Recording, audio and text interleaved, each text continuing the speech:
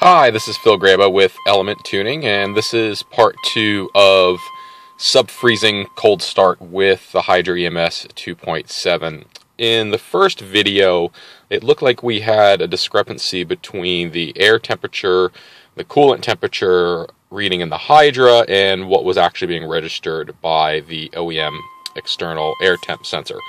Um, in this, we're going to show you how to make an adjustment um, to the air temp settings or the coolant temp sensor settings should you have a certain version of the Hydra EMS, the basically Epsilon. However, I can make these changes in the base maps, and if I find that this is the right thing to do, that's what we'll send our base maps out with. So, under your tuning maps, go down to sensor calibration, click on coolant temperature sensor and or air temperature sensor, and you basically have your voltage scale and your corresponding air temps.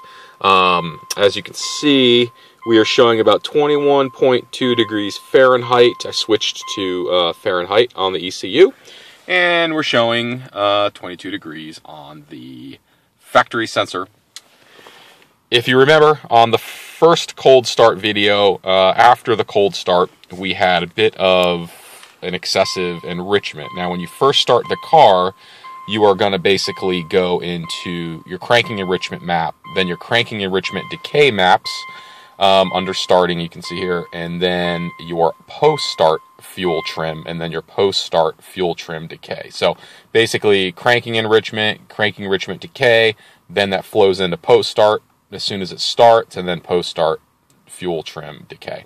We'll click on post start, and we'll basically go down to uh, the temperature here um, that it's showing 14 degrees. Uh, well, basically, you know, it's extrapolating between the various load cells, but um, this is the enrichment. I made a change, I lessened it, so hopefully today what we'll get is uh, a fire up with less enrichment after the start. So let's give this a shot.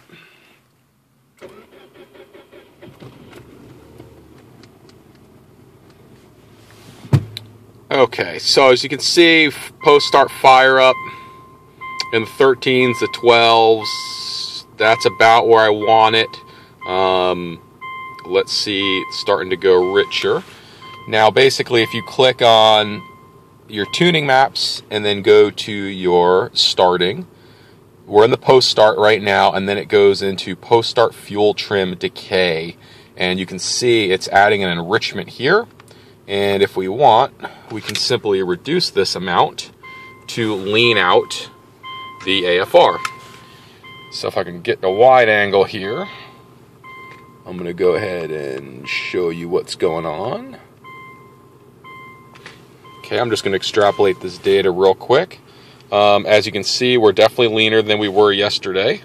I'm going to go ahead and take a little bit more fuel out, just hit the negative key.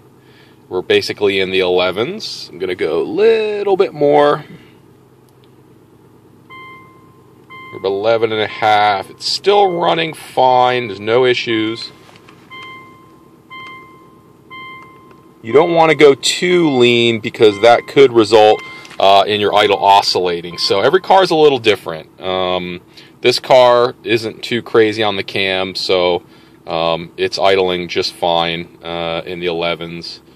Now we're basically going into the 12s. As you can see, I'll take a little bit more out. You can see where the yellow cursor is tracking right now. That's actually what's going on. And then basically what we need to do is we're going to have to make these changes to these last few cells here too. And if you want, you can really just edit your very last column and then highlight everything here. Hit your X key to extrapolate, and bam, there you go. So, right now we're about 12 and a half to 1. Idle's coming up nicely. I could probably take out a little bit more fuel.